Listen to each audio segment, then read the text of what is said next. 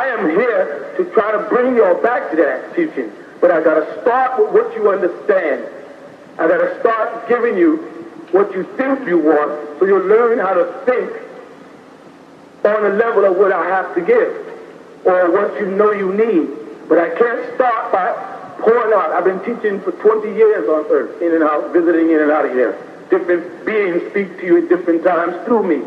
Different, trying to answer all of your questions to prepare you for the real knowledge, the real information that you have to have after you get through wobbling in how great you are and how you got here and how you're Abraham and you're Peter and you're this. When you finish all that ego tripping, then I can get down to teaching you the truth about things and prepare those who are supposed to leave here to prepare so when the ship does come, they can go. White man know what extra uh, encounters of a third kind is. Because he remember the first encounter was when the masters came down. The second encounter is when Jesus came down. And he knew the third encounter would be when the mothership comes. He knows what he's talking about. And he knows that inside y'all is a drive to find your way back to the ship. It's something inside that's driving you. Let your body win and you're going to eternal damnation. Let your soul win and you're going to everlasting life. When they say everlasting life, my sons and daughters, all they mean is when you get out of the earth's atmosphere where the Heavenly Father has created suns and moons to control time, you move into an eternal time system. You only have these time systems when you're trapped in the Earth's atmosphere, so a hundred years seems like a long time. When you move outside of this sun, moon, and star, this galaxy, time is much, much more broader, and what you call one day could be a thousand years. That's eternal life. I hope that's understood. Go ahead. Why are they going up in space? What's the point of these satellites? What are they for? They're trying to get out of here. They realize that the ozone layer is gone. They realize that the insects are increasing, the diseases are increasing, that, you know, that the drugs are increasing, and the white man wants out. He wants to get back to Saturn. He wants out of here. That's why he can spend all that money to try to throw rockets into space and ain't spending that money trying to cure diseases or hunger. So a person is spending money on their transportation while their house is burning down, that means they plan on doing what? Leaving, point blank. So the white man is trying to get out of here because he sees that this planet, Terra, is about to destroy itself, going to self-destruct. And he wants out. Point blank. Simple as that. That's why he's calling them shuttles. A shuttle is to take you from one place to the next. Correct? He wants out. He's going to leave black people here to destroy themselves. And what about the satellites? What are for? Communication, because they need to communicate from interplanetary communication the satellite is like a telephone, a wireless telephone. Only instead of sending down just FM frequencies for speech, they can send down uh, patterns for sound, color, and they can beam up images. The white man is seriously right now trying to figure out ways to alter DNA, you know, because he got this from extraterrestrials, and to transport your DNA to a hologram and project you into another galaxy, another dimension, and then send your chemistry after that, and you what he call beam there. He's working on that. Extraterrestrials do it now. He don't have it, and they won't give it to him. So what he's doing is trying to get up there using satellites to monitor different communications that extraterrestrials have from ship to ship, but he can't translate it anyway because they have a crystal translator. He don't know the power. Um, in reference to uh, Seraphim and Cherubim, this says maybe the Seraphim know that you might be uh, a good angel. You have to speak again for the story. Okay, um, in, in reference to a Seraphim and Cherubim. A seraphim and a cherubim, yeah. Okay. Just like the Seraphim might know that you might be a good angel, just like um, do the devil also know that you want to be, will they also try to pull you a different way? Yes, but how they do it is through your house, your aura. See, when you think negative in your inside, there's lights around your body that changes color. And when these evil demons, they see this aura changing, these evil suggestions around you, they're, they're magnetically drawn toward that.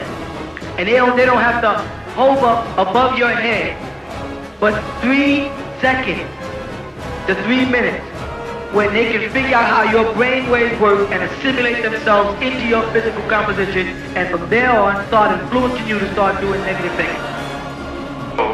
First of all, I'm very pleased to be here.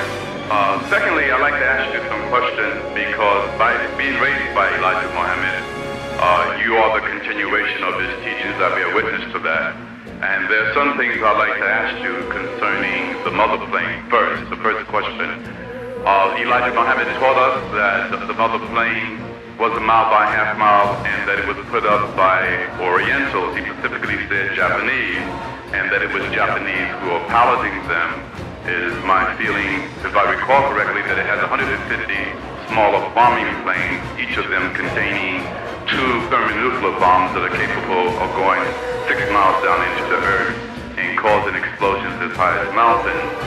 Um, I read in your pamphlet when you talked about the mother plane, uh, you indicated or alluded to the fact of them being piloted by uh, either extraterrestrials or people here on the planet. Could you, for me, please make that clear, your understanding on the mother planet? Yes. The book of Revelation, first of all, explains in detail about the mothership. The reason why it refers to the mother plane because it is indeed a whole city. It's not just a ship like people think. It is tremendous. And the specs of it and the description of it, as Honorable Elijah was trying to explain to people, are broken down in the book of Revelation 21 and 22. Revelation 21 actually gives you the measurement of it in cubic feet. Now the reason why Elijah Muhammad, who saw the mothership in a vision, you understand, said they were Oriental, is because these beings that he saw, and this is what most people are interpreting when they think about extraterrestrials, make note that they always interpret them as not having lived. These are the military from another galaxy, from a Zeta Galaxy. I don't want to get too spaced out so people start thinking you're crazy because they don't understand. There. Zeta, like it's uh, Z-I-D-A, Zeta, right? Uh-huh. That's a galaxy, all right? And these beings are usually four to five feet tall. They have a, a grayish brownish color. They have very large slanted eyes like Orientals. They have the feet, if you notice Orientals have small noses and, you know, they predominantly look like Orientals. Because the messenger was seeing a vision of them, he didn't know to know that they were extraterrestrials at the time. So he interpreted them for what they looked like to him, which was Oriental. Now, today, in this UFO thing they talk about, whenever they describe these things, you look at them and say, they look like Orientals. so I was way ahead of his time in that. You follow? Yes, and they are equipped to destroy the planet if they have it. And in the Revelations again, when they speak about it, about the, the, the star hitting the planet Earth and going down and making a hole in the planet Earth, a pit, this was unlike I was talking about. The only time these extraterrestrials, these beings, will interfere with what's taking place in the planet is when the devil gets ready to destroy the planet and destroy a children. Then they will intercede on the behalf of the righteous, like the Honorable Elijah taught. And they know all the righteous, and they will call them by their name, and they will respond, and they'll be taken up, up into the ship. And then they will release fireballs against the earth to destroy the planet Earth. And it will not destroy anything except those things who do not have a large seal of righteousness on. That's what they're talking about. This is what he was talking. He was talking about the doomsday. And if we went to Revelation 21, we see, and I saw a new heaven and a new earth. That's what Honorable Muhammad would say. He would refer to paradise as hereafter meaning here on earth after the devil's 6,000 year period is up and he has been taken off the planet and Allah appears in his good time to show forth his power that he is Allah and has power over all things. When that time comes and the devil is removed, this is referred to as a hereafter. Muslims say hereafter, hereafter the world ends. Honorable Mama was saying here on earth after the devil is removed will be the paradise. That's where he explains. And it goes on. And I saw a new heaven and a new earth. And see, the Honorable Mama did speak about heaven, even though a lot of people didn't realize that, because when he broke down who the original black man was, he said, Asiatic black man, maker, owner, cream of the planet, father of civilization, and what? God of the universe. So he didn't know about a heaven, but he was talking about a kingdom, which is a ship, not no spook heaven, where people gonna go sit not next to no white God, or no, you know, that, that Christianity, that devil mentality he calls lies. That's he was talking about reality. But he couldn't tell them about extraterrestrials. They already thought the messenger was crazy, but he was saying that, that we are Asiatic black man. We the original people. He was talking about extraterrestrials and UFOs and motherships and little ships coming out. Man, the white man would have been off at the black people. If the white man writes about the crazy, what do they say? He must be crazy. The messenger was preparing them so when I come, I will be able to continue some explanations. Plus, he knew that the news media by that time would have to reveal certain truths that would make black people. Now when I mention extraterrestrial UFO, black people don't freak out because now y'all believe they exist. Why? Because the white man, they exist. Not necessarily you, but a whole lot of people in there. So let's see what happens in number 21 of Revelation. And I saw a new heaven and a new earth. For the first heaven and the first earth was what? Away. That is hereafter. You see what I'm saying? That's all like I was talking about. Hereafter. Whether all the students in the world want to bear witness or not, the truth is truth. Then he said, and passed away, and there was no more sea. Now check that. And then what did John say? And I, John, saw the holy city, the new Jerusalem, which means city of peace. I would like woman talking about the meaning of Jerusalem and what it means, founder of peace. Remember that? Yes. Coming down from God out of heaven. out of heaven, prepared as a bride adorned for. Her husband. You see that? He spoke about the mothership coming. It's going to be prepared for us, and we got to be like a husband, ready, ready to wedlock into this city, ready to go to it and live with. Let's go on. What it say? And I heard a great voice out of heaven say, Behold, the tabernacle of tabernacle is temple. Guys, of God is with man. and He will dwell with them. That's why the old like Mama said Allah will come in his own good time to show forth his power. He's all wise. Because it says he'll be in that temple with them. He'll dwell with them. You see that? Go ahead. And they shall be his people. And And God himself shall be with them and be their God. Mama like Mama wasn't making nothing up. Everything he was telling them was like the scriptures. They just couldn't relate to the scriptures. And he couldn't, he had to take them, what did he say? It's a baby stage. I had to take y'all gradually by the hand and walk y'all through. He couldn't unload all that too. If Uncle Lyman would have unloaded all the things he knew, the white man would have spent his whole time trying to kill him. Because he thought Dr. Martin Luther King knew something and killed him. He thought Malcolm X knew something killed him. He thought when Clarence 13X broke off from Honorable Muhammad and started preaching in Harlem, they said, uh-oh, there goes Allah. you know, and they thought he was real. They killed the man. Just to prove that he's not a law. That's how they work. When we read this whole book of Revelation 21, it'll tell us. And God shall wipe, when they say God, we know they're talking about Allah, shall wipe away all the tears from their eyes. What do you say? I, I give all I have, and what?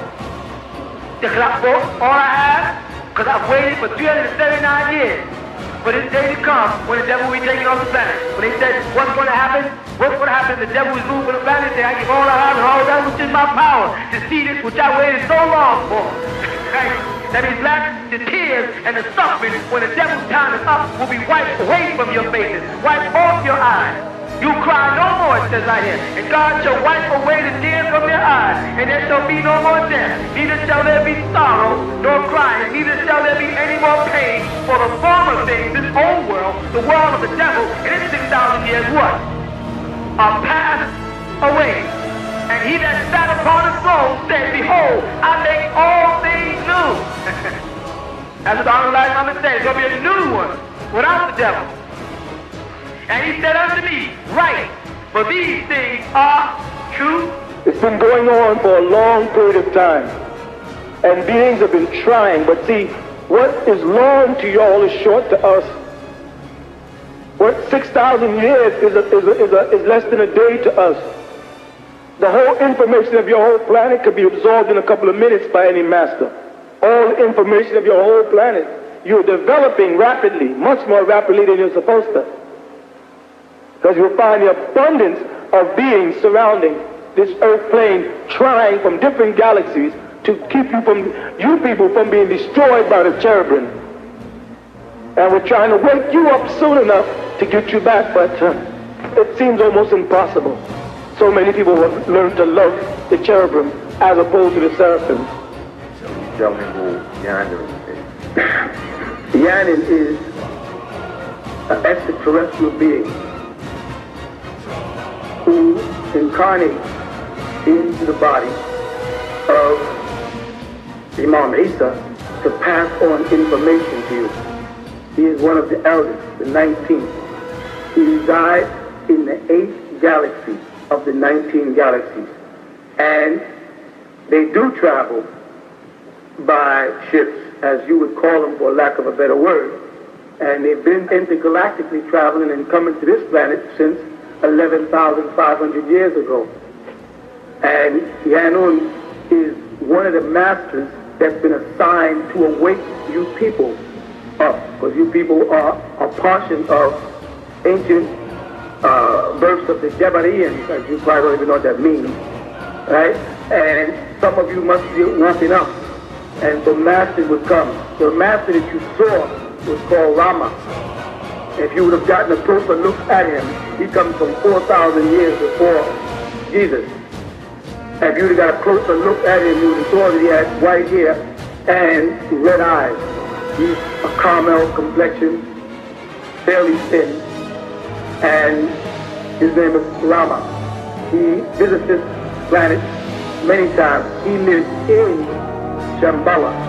I don't care how big it sounds to you, one day you'll find out it's true anyway that in the center of your planet there is another world in the center. There's subterranean pathways to different chambers in the center of your planet. The pyramids are entrances there, and so are the pyramids out in South America and the Nairobi Desert, and out at the Antarctic is the entrance in. And Yanun is one of the masters of the school of the bird. They call him the feathered bird. This is why in South America, when they, when they look over the sky and they see this image of this bird on the ground, that is his school. So certain arriving masters to this plane knew what school they would go to. Each galactical, what do you call it, body had their own school on this planet. Muslims uh, don't realize that throughout the Holy Quran, when Allah subhanahu wa ta'ala is speaking about angelic beings coming to earth, you've turned them because of Christianity in the 18th century into little white babies with wings when you're talking about celestial terrestrial beings or extraterrestrial beings who have been visiting y'all for a long period of time.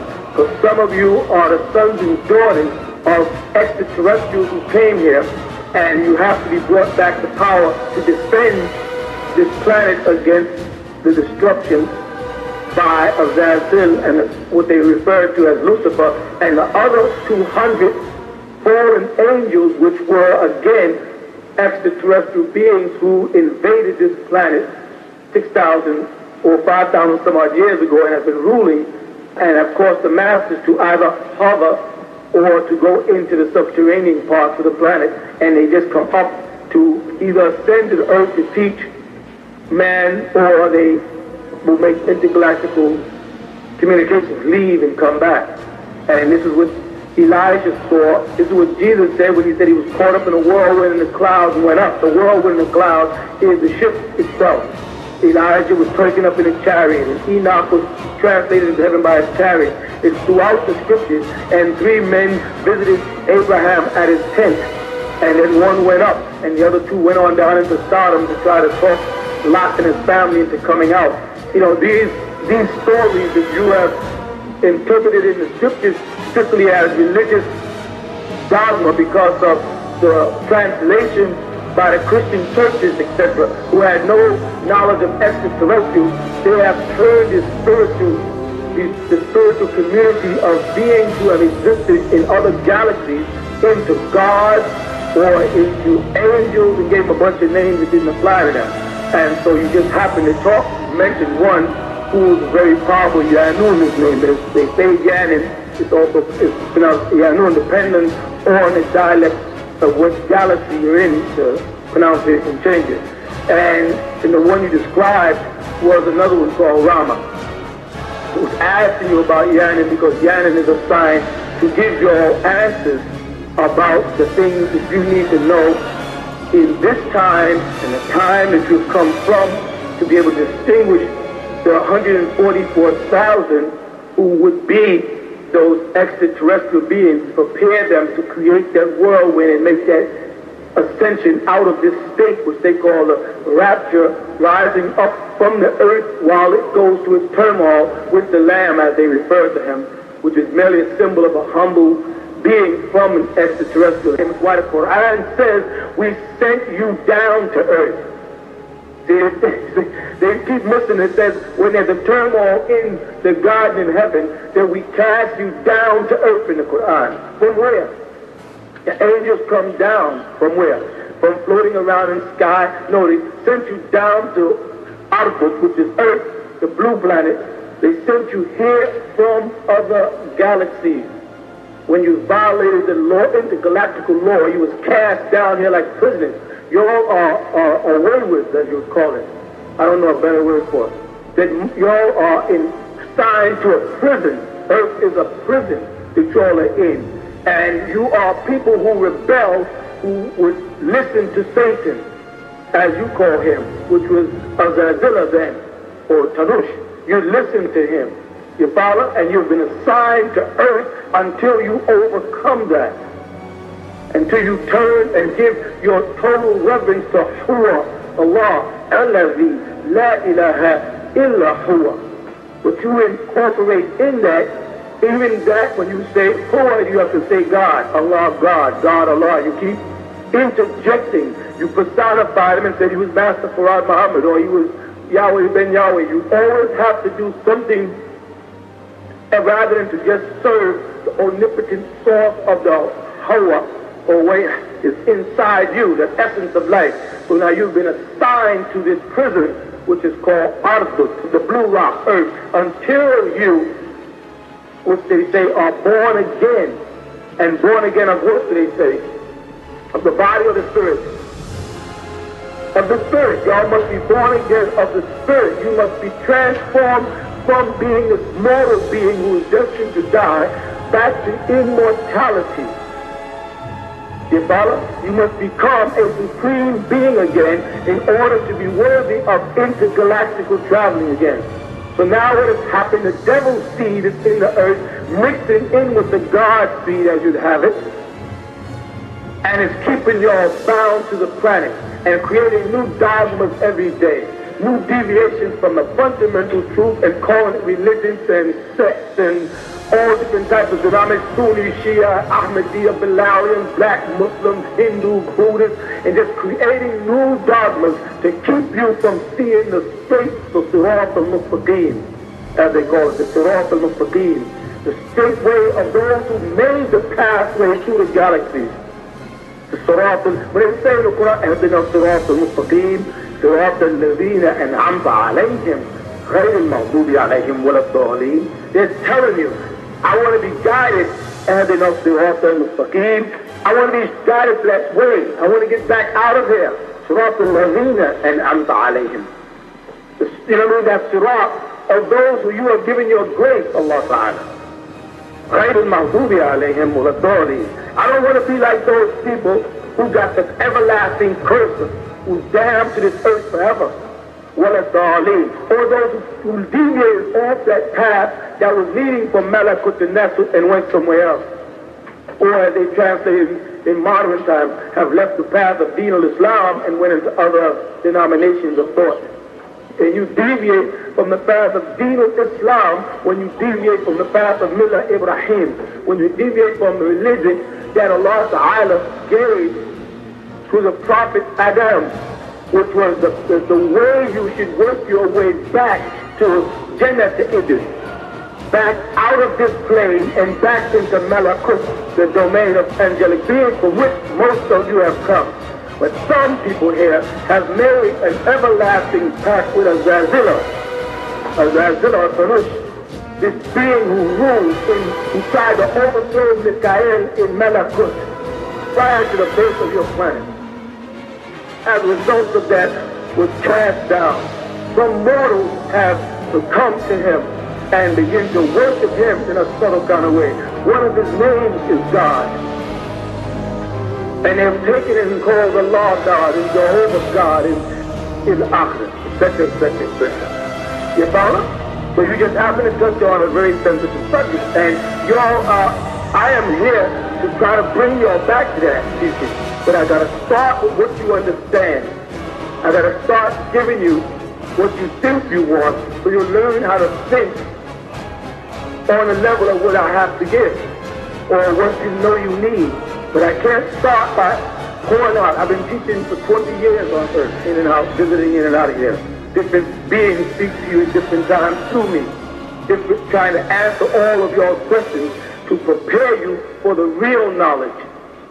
The real information that you have to have after you get through wobbling in how great you are and how you got here and how you're Abraham and you're Peter and you're this. When you finish all that ego tripping, then I can get down to teaching you the truth about things and prepare those who are supposed to leave here to prepare so when the ship does come, they can go.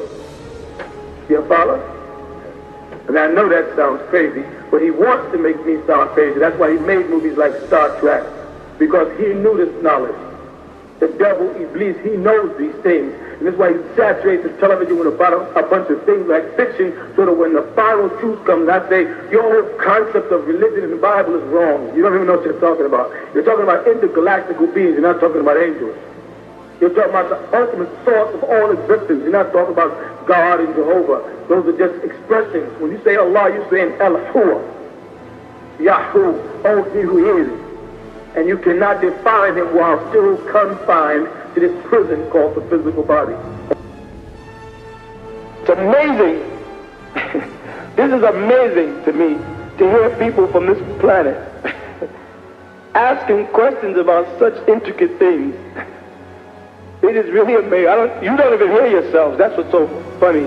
You don't, you don't even hear yourself. You hear yourself talk to me, but you don't even understand half the things you're asking. It's amazing to find that just spiritual people here are beginning to wake up. It is not about a water religion. You know what I mean by a water religion? When they dip you in some water and say you're baptized, or some, or you or go to Mecca and then say I'm a Muslim, where it's just the physical aspect of the deed. It's amazing that y'all are now probing into the esoteric part of your existence and trying to get a better understanding of the real you and not the synthetic you that you call your body. It's a wonderful day. El Hadi. I want to ask a question. First of all, wait, let me correct some. El Hadi is my father's name. Mom, Okay. what is it? What is meant lately? I've been getting the flash in front of me, the white fog, like I'll be standing or I'll be in a certain place, and I'll see a white, like a white, or like a White mist. a mist. Yeah. Um, how do you know that? Because I know what it is. A mist in front of me, and it just comes, and it stays there for a second. Then I, it'll go. Then I, I can move, and I, I'll go to another place, and uh, my mind just be, you know, I don't be thinking about anything in particular. All of a sudden, it flash in front of me, but I can't really, you know, figure out. You haven't had, see the thing is you're looking at you're looking at beings who are here in the Earth's atmosphere trying to reverse the negative flow of current that's here. Okay? You can't assimilate them because you haven't developed the, the inner part of you. You're developing, but you have not developed the inner part of you to be able to focus on them and take shape the way you do physical things. Meaning, human beings are under the impression that when they look at something, they really see it, and they don't. Um, I know there's 19 other galaxies, and some planets have been destroyed. But how do they? Wait a minute. Huh? There's 19 galaxies in Theta. What's that? Theta is where Yanin comes from.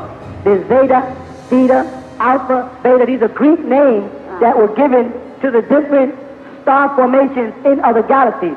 There's 19 galaxies within the star formation of where Yanun comes from. Oh, and he just happens to come from the eighth planet called Rizq of a three-sun galaxy, which is one of the 19. When you get into Zeta, or what they call Zeta 1, right, that's another star star formation, and they have many galaxies there. okay? It's much more complicated oh, than much more complicated. just that, yeah. Well, oh, I just wanted to ask you, what do extraterrestrials look like? I mean, you see these um, on television, you see little green-eyed monsters, but do they actually look like that, or really more like us? I understand what you're saying. Are you with me? Let me explain something to you about that extraterrestrial thing. When an extraterrestrial visits Terra, Terra is one of the names of the planet Earth used by extraterrestrials. The project planet Earth is called Urenda. If you ever get a chance, remember. And Jesus, by the way, is on a starship, and his starship name is Sananda. Okay? He's not called Jesus or the Messiah, he's called Sananda. But let me go on. If an extraterrestrial ship, as you call them, comes into the earth and lands, correct? For the first time, and he lands in a jungle, and he encounters a lion, what do you think he'll think? If that's an earthling. But He'll think that the lion is an earthling. If he encounters, if he goes beneath the earth into the sea, like the Voltex do, when they come here, they go under the sea. What will he think when he sees under the sea? He'll think those are earthlings. See, what's wrong with people on the planet Earth? They tend to think that they're the only earthlings. We are the human beings. We are the rulers of the planet Earth. When in reality, every living creature from insect to ant to bacteria is an earthling and therefore different forms of extraterrestrials, depending on the ladder of their intellect and, and existence, come to Earth. There are bacteria that come to visit bacteria. There are humanoids that come here. The ones that frequent the planet Earth the most, right, Orandians, are what they refer to as the little people. They frequent most here, and that's because back in 1947, one of their ships crashed here because of a, a storm, and they work off uh, electricity magnets. And when they came back to uh, recover the bodies of the they encountered certain American officials, Truman in particular, who all they asked for was the bodies and the remainings of the wreckage to take back, and he made a, and they, they made him make a bargain with them to give them certain diseases and certain formulas like energy equals mass times the speed of light, and your formula of split atoms with atomic bomb, which they told the extraterrestrials they were going to use for something good, but in turn used for something evil. And they didn't return all of the bodies, and they didn't return all of, all of the uh, wreckage, so the extraterrestrials uh, through what they call telepathy, put Truman out of his misery, and Eisenhower picked it up. Eisenhower came into office, and he became the one who was a negotiator for a certain project whose name I won't mention. And he became a communicator between the extraterrestrials then. You, you follow that? Yeah, And he also betrayed them. They gave y'all the cure for palsy. They gave y'all the cure for polio. They gave y'all the uh, they got a vaccine for um, cholera and for malaria, and they, were, and they would have given you the cure for cancer and all the other diseases, but they betrayed these beings and killed them, the ones who visited, and so then they, other, other beings came from other galaxies, because it's an interplanetary thing, of other galaxies who came here from other forms of life, for lack of a better word, to assist these the little people who are really just scientists. It is different formations of stars. Some beings come here as scientists. Therefore apt to take you up on a ship and examine you. To find out how your organs work, find out how your brain works. But mortals on Earth are only using a fraction of their brain. Certain planets where the people have evoluted for millions and millions of years, they use their whole brain. And human beings, for some reason, have stopped. As you were evolving in the beginning of your time, thousands of years ago, you were becoming smarter and beginning to use more of your brain, and that was giving you more psychic powers. But uh, wicked extraterrestrials have taught human beings how to use computers, which made their brains stop developing. And if you don't develop your brain, you're going to cut off your psychic power, and y'all won't have telepathy and all of the powers necessary for communicating with extraterrestrials. So now you're doing everything on computers, and you stop developing the brain. So the extraterrestrials are concerned, but you're so fascinated with computers and how fast it gets things done that they can't convince you that thousands of years are being lost because human beings are not calculating with their hands and not developing their minds and not studying things from an esoteric standpoint of view, but they're looking at everything from a monetary and physical standpoint of view. So they foresee that planet Earth is about to destroy itself because man has got more sophisticated with his technology than he has in his spiritual powers. So they sent the Quran, they sent the Torah, they sent the Injil. They through telepathy have communicated with certain mortals like Muhammad and Zoroaster and Buddha and Musa and Isa. Well, Isa is a different creature because he was caught between two worlds and communicated with them and tried to send down this information so that they can teach you and get you developed spiritually for when the, the mothership comes, which you read in Revelation 21 as the crystal city that Jesus said will come out of heaven with the 24 elders, which Ezekiel saw, but you're not ready for it. You're caught up in the physical thing and the luxuries of the world, and you're being persuaded by the cherubim to, to lean towards the darker side of things instead of by the seraphim to lean towards the lighter side. So to answer your question, many different types of beings are coming to this planet. The most important visitation was around 1947 after you bombed Hiroshima and Nagasaki because you almost, with through atoms, split your planet. And if you would have split your planet, you would have interfered with things that are being done in the center of the planet in a place called Wahala and Shambhala. So the extraterrestrials started sending people from the vortex that went into the bottom of the Bermuda Triangle, which opens up 19 times a year. You understand that? It opens the way to a fourth generation. And they come in the vortex of, of being from the same galaxy as the little people, but they are they live underwater as opposed to on land. And they come here when uh, they're living under under the sea here in the Atlantic Ocean and different places, and they have empires there. And everybody is working to keep you from destroying the planet so y'all can develop. The only thing that cannot be done is they cannot interfere with the natural course of your planet. Because it'll be thrown into a star holocaust, meaning the magnetic field of the planet will be reduced, which y'all are doing anyway by removing the ozone layer. And we're trying to figure out any way we possibly can to re-knit the ozone layer, because if the ozone layer is moving, ultraviolet waves come in, you have 10 years before your planet will be destroyed. So extraterrestrials doing everything in their power to keep you from destroying yourself, and the cherubims are here in the form of human beings, and y'all just don't see them as the white people, and they're doing everything in their power to destroy you. Let me give you a little cues. If the man says driving, driving 55 miles an hour, and he makes a car that does 260. Don't smoke cigarettes, and they got cigarette commercials. Alcohol will kill you, and they got alcohol commercials. Drugs will kill you, and they import drugs in the country. You can't even smuggle a piece of jewelry in from South America, but they can't stop hundreds of pounds of drugs. There's obviously an inward conspiracy for human beings to destroy themselves out of their ignorance.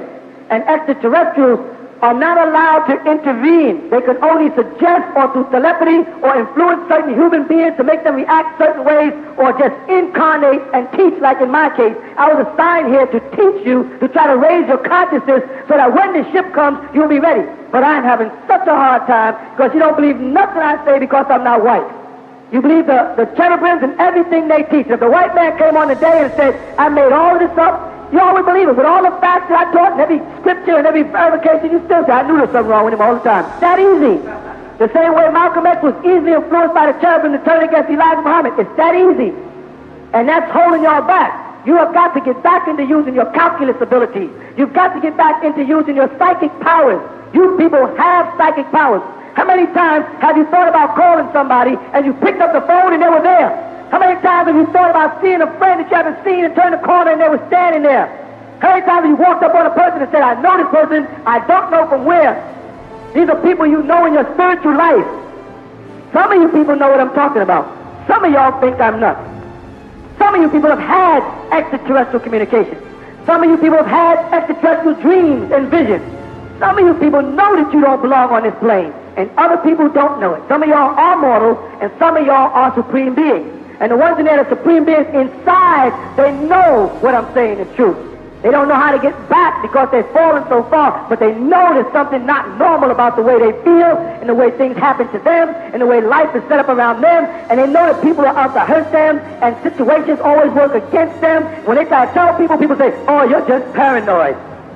When you go to get a job and they pick the other person standing next to you and you say, dang, these people just don't like me. Then you go home and say, that's just paranoia. There's no paranoia. The devil knows who you are, and he sees it in your eyes even where you can't see it, and he's out to stop you.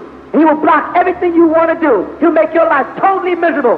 When there's five people to get picked in the college, you'll have the highest credentials, and you won't be the one to pick. You understand? When the bus gets ready, when you coming down the street, the bus is pulled off, everybody else catches the bus, the bus gets away from you. You understand down there? You get down there, someone says, boy, the train just left. I'm sorry, that was our last pair of green shoes. And you be, and then you don't realize that this has been happening to you your whole life. Then you sit back and say, why does everything always happen to me? That's because you are a visitor. You understand? You're a seed of the elders and you're lost here, and you better wake up soon. Because when the devil opens up the door against you, he's not going to show no mercy.